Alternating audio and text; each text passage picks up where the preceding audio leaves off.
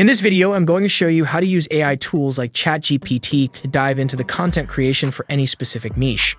So let's pretend that I'm a travel influencer looking for content about traveling. I'll just go to Google and search the best places in the world to visit.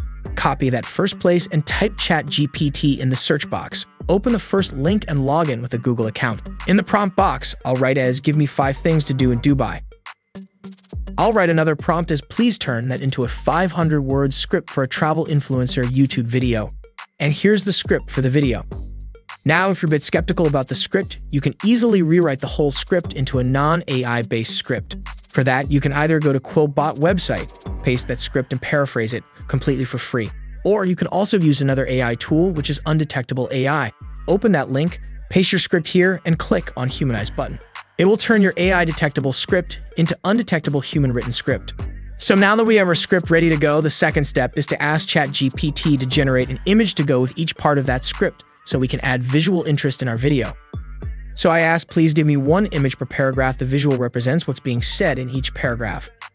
As you can see that ChatGPT even tried to pull some images which is actually beyond its capacity to do right now, but it gives us the exact descriptions of the images that we will need. You can use each of these descriptions and go to a platform for royalty-free stock photos such as Unsplash. But we can also use Midjourney to generate images with these descriptions. But Midjourney is not a free service. It's $10 per month. But if you want something free, you can use Tome APP or DALL-E 2. So once we have the images, the next step is to ask ChatGPT to write titles for the script. I asked please give me 10 eye-catching YouTube video titles from the script above. Or if you already know your main SEO keyword, you can include that too. So as you can see, ChatGPT gave me some nice titles for the video, but I'll ask it again to make shorter titles. I asked, please try again but give shorter titles. So here are the short and concise titles. Now I asked please give me a list of 10 SEO optimized keywords to use as tags for my video. And it's done. The last step is to get some description. So I asked write a 200 word SEO optimized description for this video title, and I'll paste the title here which I chose. And here is our video description.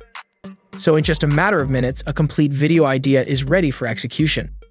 If this video was helpful, please hit the like button and subscribe if you want to learn more about AI tools and their different use cases.